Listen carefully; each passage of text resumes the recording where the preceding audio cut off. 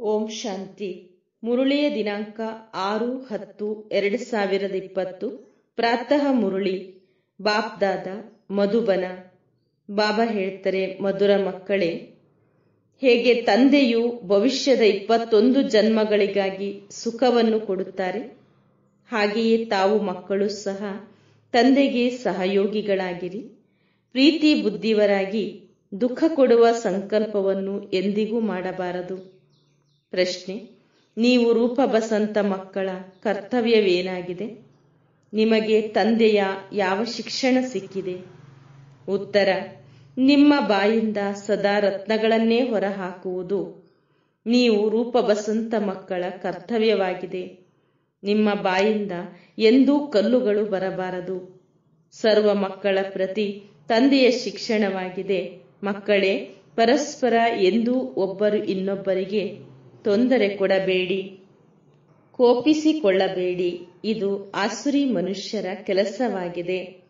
ಮನಸ್ಸಿನಲ್ಲಿಯೂ ಸಹ ಅನ್ಯರಿಗೆ ದುಃಖ ಕೊಡುವ ಸಂಕಲ್ಪವು ಬರಬಾರದು. ನಿಂದನೆ, ಸ್ತುತಿ, ಮಾನ, ಅಪಮಾನ ಎಲ್ಲವನ್ನೂ ಸಹನೆ ಮಾಡಿಕೊಳ್ಳಬೇಕು. ಒಂದು ವೇಳೆ ಯಾರು ಏನಾದರೂ ಹೇಳಿದರೂ ಸಹ ಶಾಂತವಾಗಿರಿ. ತಮ್ಮ ಕೈಯಲ್ಲಿ ಕಾನೂನನ್ನು ತೆಗೆದುಕೊಳ್ಳಬೇಡಿ. ಗೀತೆ, ನೀವು ಪ್ರೀತಿಯ ಸಾಗರನಾಗಿದ್ದೀರಿ. ಓಂ ಶಾಂತಿ. ಜ್ಞಾನ ಹಾಗೂ ಅಜ್ಞಾನ. ನೀವು ಮಕ್ಕಳಿಗೆ ಈಗ ಜ್ಞಾನವಿದೆ. ಭಕ್ತರು ಯಾರ ಮಹಿಮೆ ಮಾಡುತ್ತಾರೆ ಮತ್ತು ಇಲ್ಲಿ ಕುಳಿತಿರುವ ನೀವು ಮಕ್ಕಳು ಯಾರ ಮಹಿಮೆಯನ್ನು ಕೇಳುತ್ತೀರಿ. ರಾತ್ರಿ ಹಗಲಿನ ಅಂತರವಿದೆ. ಅವರಂತೂ ಕೇವಲ ಹಾಗೆಯೇ ಮಹಿಮೆ ಮಾಡುತ್ತಿರುತ್ತಾರೆ.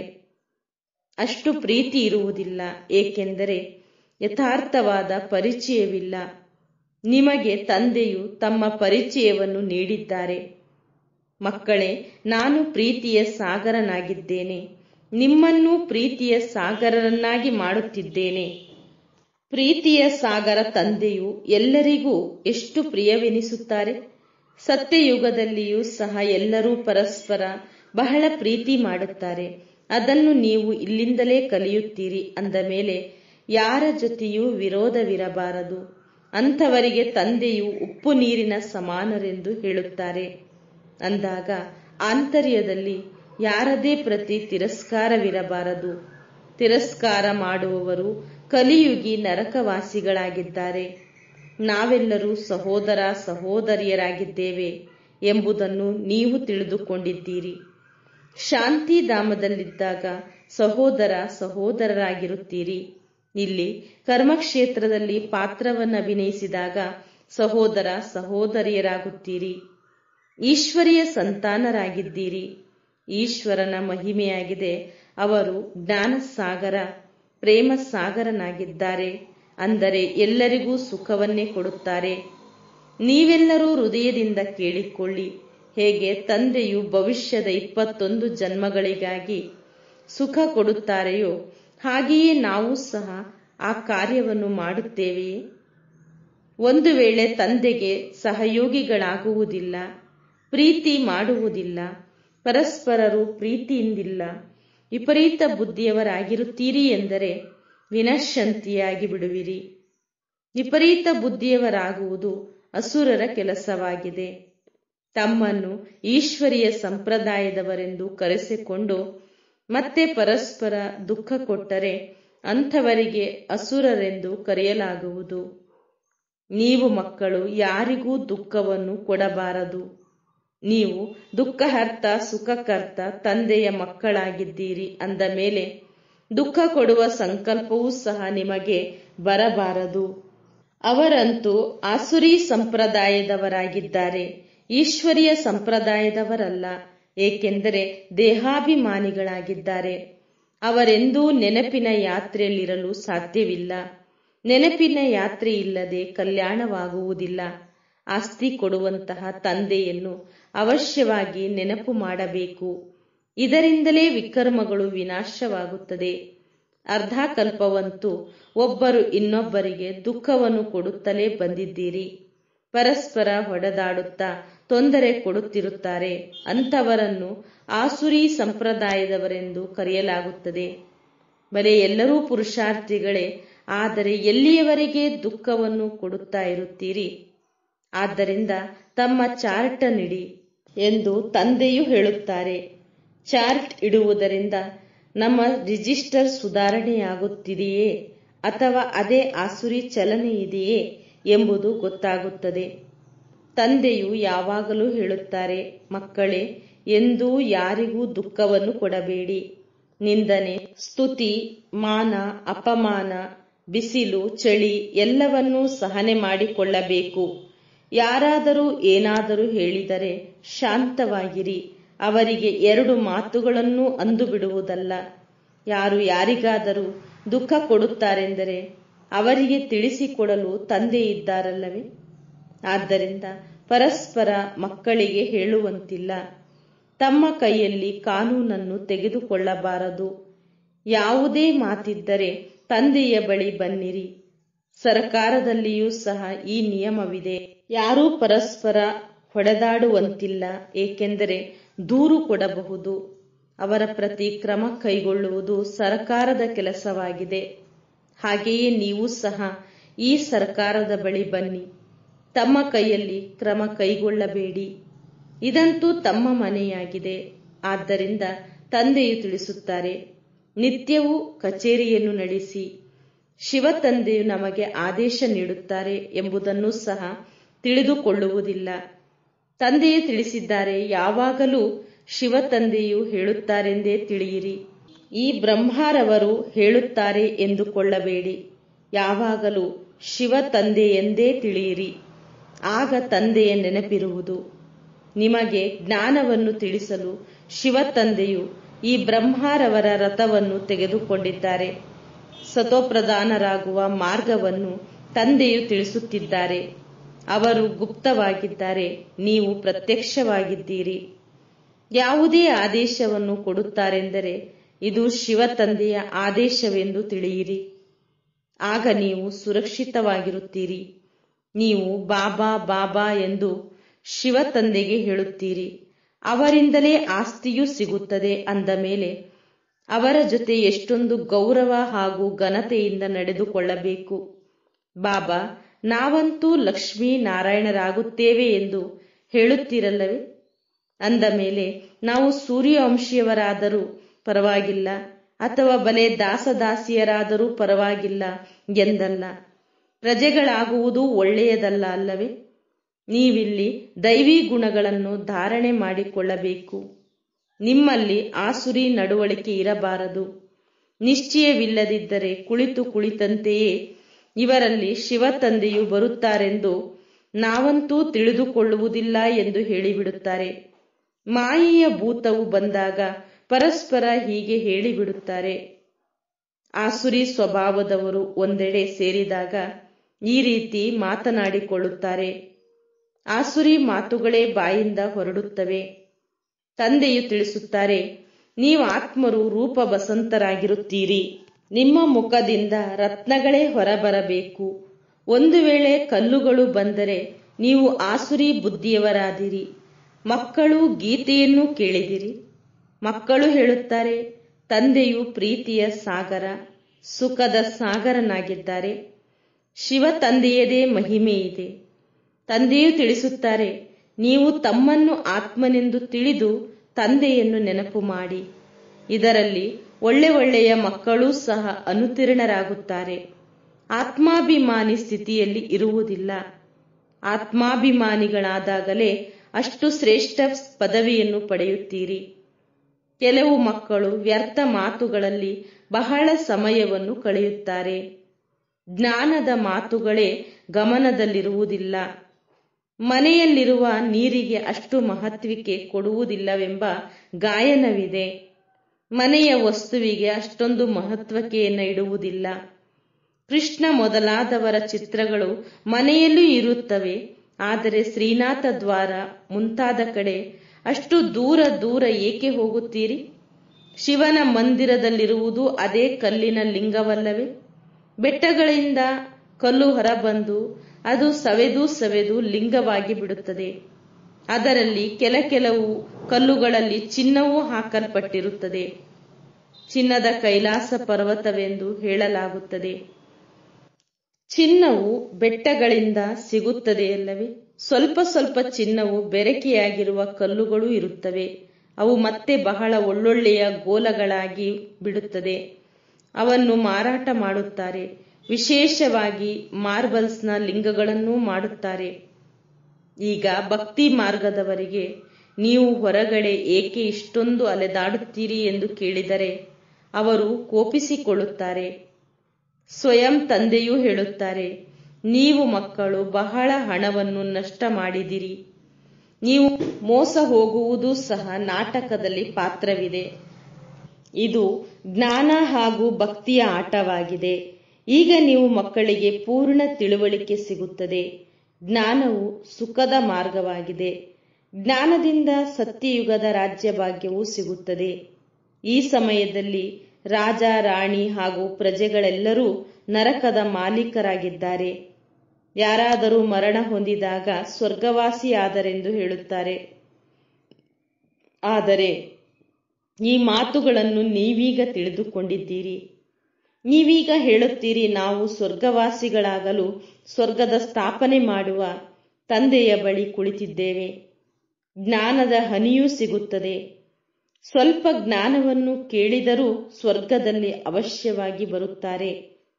ಆದರೆ ಪದವಿಗಳು ಪುರುಷಾರ್ಥದ ಮೇಲೆ ಆಧಾರಿತವಾಗಿದೆ. ಗಂಗಾಜಲದ ಒಂದು ಹನಿಯನ್ನು ಬಾಯಲ್ಲಿ ಹಾಕಿದರೂ ಸಹ ಪತಿತರಿಂದ ಪಾವನರಾಗಿ ಬಿಡುತ್ತಾರೆಂದು ತಿಳಿಯುತ್ತಾರೆ. ಆದ್ದರಿಂದ ಒಂದೊಂದು ಹನಿಯನ್ನು ನೀರಿನಲ್ಲಿ ಬೆರೆಸಿ ಸ್ನಾನ ಮಾಡುತ್ತಾರೆ. ಅದು ಹೇಗೆ ಅವರಿಗೆ ಗಂಗಾ ಸ್ನಾನವಾಗಿ ಬಿಡುತ್ತದೆ? ಗಂಗಾ ಜಲವನ್ನು ವಿದೇಶಕ್ಕೂ ತೆಗೆದುಕೊಂಡು ಹೋಗುತ್ತಾರೆ. ಇದೆಲ್ಲವೂ ಭಕ್ತಿಯಾಗಿದೆ. ತಂದೆಯು ಮಕ್ಕಳಿಗೆ ತಿಳಿಸುತ್ತಾರೆ, ಮಕ್ಕಳೇ, ಮಾಯೆಯು ಬಹಳ ಜೋರಾಗಿ ಪೆಟ್ಟನ್ನು ಕೊಡುತ್ತದೆ, ವಿಕರ್ಮಗಳನ್ನು ಮಾಡಿಸಿಬಿಡುತ್ತದೆ. ಆದ್ದರಿಂದ ನಿತ್ಯವೂ ಕಚೇರಿ ಅಥವಾ ದರ್ಬಾರನ್ನು ನಡೆಸಿ, ತಾವೇ ತಮ್ಮ ಕಚೇರಿಯನ್ನು ನಡೆಸುವುದು ಒಳ್ಳೆಯದು. ನೀವು ತಮಗೆ ತಾವೇ ರಾಜತಿಲಕವನ್ನು ಕೊಟ್ಟುಕೊಳ್ಳುತ್ತೀರಿ ಅಂದ ಮೇಲೆ ತಮ್ಮ ಪರಿಶೀಲನೆ ಮಾಡಿಕೊಳ್ಳಬೇಕು. ತಮೋಪ್ರಧಾನರಿಂದ ಸತೋಪ್ರಧಾನರಾಗಬೇಕು. ತಂದೆಯು ಶ್ರೀಮತ ಕೊಡುತ್ತಾರೆ. ಮಕ್ಕಳೇ, ಹೀಗೀಗೆ ಮಾಡಿ, ದೈವಿ ಗುಣ ಧಾರಣೆ ಮಾಡಿಕೊಳ್ಳಿ. ಯಾರು ಮಾಡುವರು, ಅವರು ಪಡೆಯುವರು. ನೀವಂತೂ ಖುಷಿಯಲ್ಲಿ ರೋಮಾಂಚನವಾಗಿ ಬಿಡಬೇಕು. ಬೇಹದ್ದಿನ ತಂದೆಯು ಸಿಕ್ಕಿದ್ದಾರೆ ಅಂದಾಗ, ಸೇವೆಯಲ್ಲಿ ಸಹಯೋಗಿಗಳಾಗಬೇಕು. ಕುರುಡರಿಗೆ ಊರುಗೋಲಾಗಬೇಕು. ಎಷ್ಟು ಹೆಚ್ಚು ಆಗುತ್ತೀರೋ ಅಷ್ಟು ತಮ್ಮದೇ ಕಲ್ಯಾಣವಾಗುವುದು. ತಂದೆಯನ್ನಂತೂ ಗಳಿಗೆ ಗಳಿಗೆಗೂ ನೆನಪು ಮಾಡಬೇಕು. ಧ್ಯಾನದಲ್ಲಿ ಒಂದು ಕಡೆ ಕುಳಿತು ಬಿಡುವ ಮಾತಿಲ್ಲ. ನಡೆಯುತ್ತಾ ತಿರುಗಾಡುತ್ತಾ ನೆನಪು ಮಾಡಬೇಕು. ರೈಲಿನಲ್ಲಿಯೂ ನೀವು ಸರ್ವಿಸ್ ಮಾಡಬಹುದು. ನೀವು ಯಾರಿಗಾದರೂ ತಿಳಿಸಿಕೊಡಿ. ಶ್ರೇಷ್ಠಾತಿ ಶ್ರೇಷ್ಠರು ಯಾರು? ಅವರನ್ನು ನೆನಪು ಮಾಡಿ. ಆಸ್ತಿಯು ಅವರಿಂದಲೇ ಸಿಗುತ್ತದೆ. ಯಾರಾದರೂ ದಾನ ಪುಣ್ಯ ಮಾಡಿದರೆ ರಾಜರ ಬಳಿ ಜನ್ಮ ಪಡೆಯುತ್ತಾರೆ. ಅದು ಅಲ್ಪಕಾಲಕ್ಕಾಗಿ ಸದಾ ರಾಜನಾಗಲು ಸಾಧ್ಯವಿಲ್ಲ. ಆದ್ದರಿಂದ ತಂದೆಯು ತಿಳಿಸುತ್ತಾರೆ, ಇಲ್ಲಂತೂ ಇಪ್ಪತ್ತೊಂದು ಜನ್ಮಗಳ ಗ್ಯಾರಂಟಿ ಇದೆ. ನಾವು ಬೇಹದ್ದಿನ ತಂದೆಯಿಂದ ಈ ಆಸ್ತಿಯನ್ನು ತೆಗೆದುಕೊಂಡು ಬಂದಿದ್ದೇವೆಂದು ಅಲ್ಲಿ ತಿಳಿದಿರುವುದಿಲ್ಲ. ಈ ಜ್ಞಾನವು ಈ ಸಮಯದಲ್ಲಿಯೇ ನಿಮಗೆ ಸಿಗುತ್ತದೆ ಅಂದ ಮೇಲೆ ಎಷ್ಟು ಚೆನ್ನಾಗಿ ಪುರುಷಾರ್ಥ ಮಾಡಬೇಕು? ಪುರುಷಾರ್ಥ ಮಾಡಲಿಲ್ಲವೆಂದರೆ ತಮ್ಮ ಕಾಲಿನ ಮೇಲೆ ತಾವೇ ಕೊಡಲಿಯನ್ನು ಹಾಕಿಕೊಳ್ಳುತ್ತೀರಿ. ಚಾರ್ಟ್ ಬರೆಯುತ್ತಿದ್ದರೆ ಭಯವಿರುತ್ತದೆ. ಕೆಲ ಕೆಲವರಂತೂ ಬರೆಯುತ್ತಾರೆ, ತಂದೆಯು ನೋಡಿದರೆ ಏನು ಹೇಳುವರು ಎಂದುಕೊಳ್ಳುತ್ತಾರೆ. ಚಲನೆ ವಲನೆಯಲ್ಲಿ ಬಹಳ ಅಂತರವಿರುತ್ತದೆ. ಆದ್ದರಿಂದ ತಂದೆಯು ತಿಳಿಸುತ್ತಾರೆ, ಈಗ ಹುಡುಗಾಟಿಕೆಯನ್ನು ಬಿಡಿ. ಇಲ್ಲವಾದರೆ ಬಹಳ ಪಶ್ಚಾತ್ತಾಪ ಪಡಬೇಕಾಗುತ್ತದೆ. ತಮ್ಮ ಪುರುಷಾರ್ಥದ ಸಾಕ್ಷಾತ್ಕಾರವು ಅಂತಿಮದಲ್ಲಿ ಅವಶ್ಯವಾಗಿ ಆಗುವುದು. ಆಗ ಬಹಳ ಅಳಬೇಕಾಗುತ್ತದೆ. ಕಲ್ಪಕಲ್ಪವು ಇದೇ ಆಸ್ತಿಯು ಸಿಗುತ್ತದೆ. ಹೋಗಿ ದಾಸದಾಸಿಯರಾಗುತ್ತೀರಿ. ಮೊದಲಾದರೆ ಧ್ಯಾನದಲ್ಲಿ ಹೋಗಿ ಇಂಥವರು ದಾಸಿಯರಾಗುತ್ತಾರೆ. ಇವರು ಈ ರೀತಿಯಾಗುತ್ತಾರೆ ಎಂದು ತಿಳಿಸುತ್ತಿದ್ದರು. ನಂತರ ತಂದೆಯು ಅದನ್ನು ನಿಲ್ಲಿಸಿಬಿಟ್ಟರು. ಕೊನೆಯಲ್ಲಿ ಮತ್ತೆ ನೀವು ಮಕ್ಕಳಿಗೆ ಸಾಕ್ಷಾತ್ಕಾರಗಳಾಗುತ್ತವೆ. ಸಾಕ್ಷಾತ್ಕಾರವಿಲ್ಲದೆ ಶಿಕ್ಷೆ ಸಿಗಲು ಹೇಗೆ ಸಾಧ್ಯ? ಇದು ನಿಯಮವೇ ಇಲ್ಲ. ಮಕ್ಕಳಿಗೆ ಬಹಳಷ್ಟು ಯುಕ್ತಿಗಳನ್ನು ತಿಳಿಸಲಾಗುತ್ತದೆ. ತಮ್ಮ ಪತಿಗೆ ತಿಳಿಸಿ. ತಂದೆಯು ಹೇಳುತ್ತಾರೆ, ಮಕ್ಕಳೇ, ಕಾಮ ಮಹಾಶತ್ರುವಾಗಿದೆ. ಇದರ ಮೇಲೆ ಜಯಗಳಿಸಿ ಮಾಯಾಜೀತರು ಜಗಜ್ಜೀತರಾಗಿ. ನಾವೀಗ ಸ್ವರ್ಗದ ಮಾಲೀಕರಾಗುವುದೇ ಅಥವಾ ನಿಮ್ಮ ಕಾರಣವಾಗಿ ಅಪವಿತ್ರರಾಗಿ ನರಕದಲ್ಲಿ ಹೋಗುವುದೇ? ಬಹಳ ಪ್ರೀತಿ, ನಮ್ರತೆಯಿಂದ ತಿಳಿಸಿಕೊಡಿ. ನನ್ನನ್ನು ನರಕದಲ್ಲೇಕೆ ತಳ್ಳುತ್ತೀರಿ? ಹೀಗೆ ಬಹಳ ಮಂದಿ ಮಕ್ಕಳು ತಿಳಿಸುತ್ತಾ ತಿಳಿಸುತ್ತಾ ಕೊನೆಗೆ ತಮ್ಮ ಪತಿಯನ್ನೂ ಕರೆದುಕೊಂಡು ಬರುತ್ತಾರೆ. ಮತ್ತೆ ಪತಿಯೂ ಸಹ ಹೇಳುತ್ತಾರೆ, ಇವರು ನಮ್ಮ ಗುರುವಾಗಿದ್ದಾರೆ. ಇವರು ನಮಗೆ ಬಹಳ ಒಳ್ಳೆಯ ಮಾರ್ಗವನ್ನು ತಿಳಿಸಿದರು. ತಂದೆಯ ಮುಂದೆ ಎಲ್ಲರೂ ಚರಣಗಳಿಗೆ ಬೀಳುತ್ತಾರೆ. ಕೆಲವೊಮ್ಮೆ ಸೋಲು, ಕೆಲವೊಮ್ಮೆ ಗೆಲುವಾಗುತ್ತದೆ. ಆದ್ದರಿಂದ ಮಕ್ಕಳು ತುಂಬಾ ತುಂಬಾ ಮಧುರರಾಗಬೇಕು. ಯಾರು ಸರ್ವೀಸ್ ಮಾಡುವರೋ ಅವರೇ ಪ್ರಿಯರಾಗುತ್ತಾರೆ. ಭಗವಂತನೂ ಮಕ್ಕಳ ಬಳಿ ಬಂದಿದ್ದಾರೆ ಅಂದ ಮೇಲೆ ಅವರ ಶ್ರೀಮತದಂತೆ ನಡೆಯಬೇಕು. ಶ್ರೀಮತದಂತೆ ನಡೆಯದಿದ್ದರೆ ಬಿರುಗಾಳಿಗಳು ಬಂದಾಗ ಬೀಳುತ್ತಾರೆ. ಅಂತಹವರೂ ಇದ್ದಾರೆ. ಅವರಿಂದೇನು ಪ್ರಯೋಜನ? ಈ ವಿದ್ಯೆಯು ಸಾಮಾನ್ಯವಾದುದಲ್ಲ. ಮತ್ತೆಲ್ಲ ಸತ್ಸಂಗಗಳಂತೂ ಕನರಸ. ಅದರಿಂದ ಅಲ್ಪಕಾಲದ ಸುಖವು ಸಿಗುತ್ತದೆ. ತಂದೆಯ ಮೂಲಕವಂತೂ ಇಪ್ಪತ್ತೊಂದು ಜನ್ಮಗಳ ಸುಖವು ಸಿಗುತ್ತದೆ. ತಂದೆಯು ಸುಖ ಶಾಂತಿಯ ಸಾಗರನಾಗಿದ್ದಾರೆ. ನಮಗೂ ಸಹ ತಂದೆಯಿಂದ ಆಸ್ತಿಯು ಸಿಗಬೇಕಾಗಿದೆ. ಸೇವೆ ಮಾಡಿದಾಗಲೇ ಸಿಗುತ್ತದೆ. ಆದ್ದರಿಂದ ಸದಾ ಬ್ಯಾಡ್ಜ್ ಅನ್ನು ಹಾಕಿಕೊಂಡಿರಿ. ನಾವು ಈ ರೀತಿ ಸರ್ವಗುಣ ಸಂಪನ್ನರಾಗಬೇಕು. ಪರಿಶೀಲನೆ ಮಾಡಿಕೊಳ್ಳಿ. ನಾನು ಯಾರಿಗೂ ದುಃಖ ಕೊಡುತ್ತಿಲ್ಲವೇ? ಆಸುರಿ ಚಲನೆಯಲ್ಲಿ ನಡೆಯುವುದಿಲ್ಲವೇ? ಮಾಯೆಯು ಇಂತಹ ಕೆಲಸವನ್ನು ಮಾಡಿಸಿ ಬಿಡುತ್ತದೆ ಅದರ ಮಾತೇ ಕೇಳಬೇಡಿ. ಒಳ್ಳೊಳ್ಳೆಯ ಮನೆತನದವರು ಸಹ ಮಾಯೆಯ ವಿಕರ್ಮ ಮಾಡಿಸಿಬಿಡುತ್ತದೆ ಎಂದು ಹೇಳುತ್ತಾರೆ. ಕೆಲವರು ಸತ್ಯವನ್ನು ಹೇಳುತ್ತಾರೆ, ಕೆಲವರು ಸತ್ಯವನ್ನು ಹೇಳುವುದಿಲ್ಲ. ಅಂಥವರು ನೂರು ಪಟ್ಟು ಶಿಕ್ಷೆಗೆ ಗುರಿಯಾಗುತ್ತಾರೆ. ಮತ್ತೆ ಅದೇ ಹವ್ಯಾಸವು ಹೆಚ್ಚುತ್ತಾ ಹೋಗುವುದು. ತಂದೆಗೆ ತಿಳಿಸಿದಾಗ ತಂದೆಯು ಎಚ್ಚರಿಕೆ ನೀಡುತ್ತಾರೆ. ತಂದೆಯು ತಿಳಿಸುತ್ತಾರೆ, ಪಾಪ ಮಾಡಿದರೆ ರಿಜಿಸ್ಟರ್ನಲ್ಲಿ ಬರೆಯಿರಿ. ಮತ್ತು ನನಗೆ ತಿಳಿಸಿಬಿಡಿ, ಆಗ ನಿಮ್ಮ ಪಾಪಗಳು ಅರ್ಧ ಸಮಾಪ್ತಿಯಾಗುತ್ತದೆ. ತಿಳಿಸುವುದೇ ಇಲ್ಲ, ಮುಚ್ಚಿಟ್ಟುಕೊಂಡರೆ ಮತ್ತೆ ಮಾಡುತ್ತಲೇ ಇರುತ್ತಾರೆ. ಶಾಪವು ಸಿಗುತ್ತದೆ. ತಿಳಿಸದೇ ಇರುವುದರಿಂದ ಒಂದು ಬಾರಿಯ ಬದಲು ನೂರು ಬಾರಿ ತಪ್ಪುಗಳನ್ನ ಮಾಡುತ್ತಿರುತ್ತಾರೆ. ತಂದೆಯು ಎಷ್ಟು ಒಳ್ಳೆಯ ಸಲಹೆ ಕೊಡುತ್ತಾರೆ. ಆದರೆ ಕೆಲವರಿಗೆ ಸ್ವಲ್ಪವೂ ಪ್ರಭಾವ ಬೀರುವುದಿಲ್ಲ. ತಮ್ಮ ಅದೃಷ್ಟವನ್ನು ತಾವೇ ಅಳಿಸಿಕೊಳ್ಳುತ್ತಾರೆ. ಬಹಳ ನಷ್ಟವನ್ನುಂಟು ಮಾಡಿಕೊಳ್ಳುತ್ತಾರೆ. ಅಂತಿಮದಲ್ಲಿ ಎಲ್ಲರಿಗೂ ಸಾಕ್ಷಾತ್ಕಾರವಾಗುವುದು. ಹೀಗೀಗೆ ಆಗುತ್ತೀರಿ. ಶಾಲೆಯಲ್ಲಿ ತರಗತಿಯಿಂದ ವರ್ಗಾಯಿತರಾಗುವ ಫಲಿತಾಂಶವು ಹೊರಬೀಳುತ್ತದೆಯಲ್ಲವೇ? ವರ್ಗಾಯಿತರಾಗುವುದಕ್ಕೆ ಮೊದಲು ಫಲಿತಾಂಶ ಹೊರಬರುತ್ತದೆ. ನೀವು ಸಹ ತಮ್ಮ ತರಗತಿಗೆ ಹೋಗುತ್ತೀರಿ. ಆಗ ತಮ್ಮ ಅಂಕಗಳ ಬಗ್ಗೆ ತಿಳಿದುಕೊಳ್ಳುತ್ತೀರಿ. ಮತ್ತು ತುಂಬಾ ತುಂಬಾ ಅಳುತ್ತೀರಿ. ಆದರೆ ಏನು ಮಾಡಲು ತಾನೇ ಸಾಧ್ಯ? ಫಲಿತಾಂಶವಂತೂ ಹೊರಬರುತ್ತದೆ ಅಲ್ಲವೇ? ಯಾರ ಅದೃಷ್ಟದಲ್ಲಿತ್ತೋ ಅವರು ಪಡೆದುಕೊಂಡರು. ತಂದೆಯು ಎಲ್ಲ ಮಕ್ಕಳಿಗೆ ಎಚ್ಚರಿಕೆ ನೀಡುತ್ತಾರೆ. ಈಗಲೇ ಕರ್ಮಾತೀತ ಸ್ಥಿತಿಯಂತೂ ಆಗಲು ಸಾಧ್ಯವಿಲ್ಲ. ಕರ್ಮಾತೀತ ಸ್ಥಿತಿಯಾಗಿ ಬಿಟ್ಟರೆ ಮತ್ತೆ ಶರೀರವನ್ನು ಬಿಡಬೇಕಾಗುವುದು. ಈಗಿನ್ನು ಕೆಲವೊಂದು ವಿಕರ್ಮಗಳು ಉಳಿದುಕೊಂಡಿವೆ. ಲೆಕ್ಕಾಚಾರವಿದೆ. ಆದ್ದರಿಂದ ಯೋಗವು ಪೂರ್ಣವಾಗಿ ಹಿಡಿಸುವುದಿಲ್ಲ. ನಾವು ಕರ್ಮಾತೀತ ಸ್ಥಿತಿಯಲ್ಲಿದ್ದೇವೆಂದು ಈಗ ಯಾರೂ ಹೇಳುವಂತಿಲ್ಲ. ಸಮೀಪ ಬಂದಾಗ ಅದರ ಬಹಳ ಗುರುತುಗಳು ಕಾಣಿಸುತ್ತದೆ.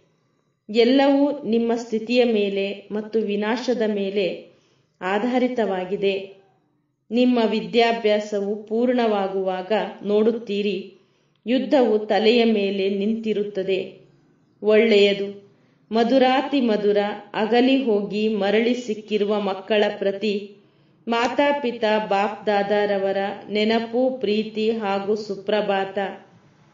ಆತ್ಮಿಕ ಮಕ್ಕಳಿಗೆ ಆತ್ಮಿಕ ತಂದೆಯ ನಮಸ್ತೆ. ಆತ್ಮಿಕ ತಂದೆಗೆ ಆತ್ಮಿಕ ಮಕ್ಕಳ ನಮಸ್ತೆ ನಮಸ್ತೆ ನಮಸ್ತೆ. ಧಾರಣೆಗಾಗಿ ಮುಖ್ಯ ಸಾರ ಫಸ್ಟ್ ಪಾಯಿಂಟ್. ಮಾಯೆಗೆ ವಶರಾಗಿ ಯಾವುದೇ ಆಸುರಿ ಚಲನೆಯಲ್ಲಿ ನಡೆಯಬಾರದು. ತಮ್ಮ ನಡವಳಿಕೆಯ ರಿಜಿಸ್ಟರ್ ಇಡಬೇಕು. ಪಶ್ಚಾತ್ತಾಪ ಪಡುವಂತಹ ಯಾವುದೇ ಕರ್ಮವನ್ನು ಮಾಡಬಾರದು. ಸೆಕೆಂಡ್ ಪಾಯಿಂಟ್ ಬಹಳ ಬಹಳ ಪ್ರೀತಿ ಹಾಗೂ ನಮ್ರತೆಯಿಂದ ಸೇವೆ ಮಾಡಬೇಕು, ಮಧುರರಾಗಬೇಕು. ಬಾಯಿಂದ ಆಸುರಿ ಮಾತುಗಳು ಬರಬಾರದು. ಸಂಘದಿಂದ ತಮ್ಮನ್ನು ಬಹಳ ಸಂಭಾಲನೆ ಮಾಡಿಕೊಳ್ಳಬೇಕು. ಶ್ರೀಮತದಂತೆ ನಡೆಯುತ್ತಿರಬೇಕು. ವರದಾನ. ಮನಸ್ಸ ಸಂಕಲ್ಪ ಹಾಗೂ ವೃತ್ತಿಯ ಮೂಲಕ ಶ್ರೇಷ್ಠ ವೈಬ್ರೇಷನಿನ ಸುಗಂಧ ಹರಡುವಂತಹ ಶಿವಶಕ್ತಿ ಕಂಬೈಂಡ್ ಆಗಿರಿ. ವಿಶ್ಲೇಷಣೆ. ಹೇಗೆ ಇತ್ತೀಚೆಗೆ ಸ್ಥೂಲ ಸುಗಂಧದ ಸಾಧನೆಗಳಿಂದ ಗುಲಾಬಿ, ಚಂದನ ಹಾಗೂ ಭಿನ್ನ ಭಿನ್ನ ಪ್ರಕಾರದ ಸುಗಂಧ ಸಿಂಪಡಿಸುತ್ತಾರೆ. ಅದೇ ರೀತಿ ತಾವು ಶಿವಶಕ್ತಿ ಕಂಬೈಂಡ್ ಆಗಿ ಮನಸ್ಸ ಸಂಕಲ್ಪ ಹಾಗೂ ವೃತ್ತಿಯ ಮೂಲಕ ಸುಖ, ಶಾಂತಿ, ಪ್ರೇಮ, ಆನಂದದ ಸುಗಂಧ ಹರಡಿರಿ. ಪ್ರತಿದಿನ ಅಮೃತ ವೇಳೆಯಲ್ಲಿ ಭಿನ್ನ ಭಿನ್ನ ಶ್ರೇಷ್ಠ ವೈಬ್ರೇಷನಿನ ಕಾರಂಜಿಯ ತರಹ ಆತ್ಮರ ಮೇಲೆ ಸಿಂಪಡಿಸಿರಿ. ಕೇವಲ ಸಂಕಲ್ಪದ ಆಟೋಮೆಟಿಕ್ ಸ್ವಿಚ್ ಆನ್ ಮಾಡಿ. ಆಗ ವಿಶ್ವದಲ್ಲಿ ಏನು ಅಶುದ್ಧ ವೃತ್ತಿಯ ದುರ್ಗಂಧವಿದೆ, ಅದು ಸಮಾಪ್ತಿಯಾಗಿ ಬಿಡುವುದು. ಸ್ಲೋಗನ್, ಸುಖದಾತನ ಮೂಲಕ ಸುಖದ ಭಂಡಾರ ಪ್ರಾಪ್ತಿಯಾಗುವುದು. ಇದೇ ಅವರ ಪ್ರೀತಿಯ ಗುರುತಾಗಿದೆ. ಓಂ ಶಾಂತಿ.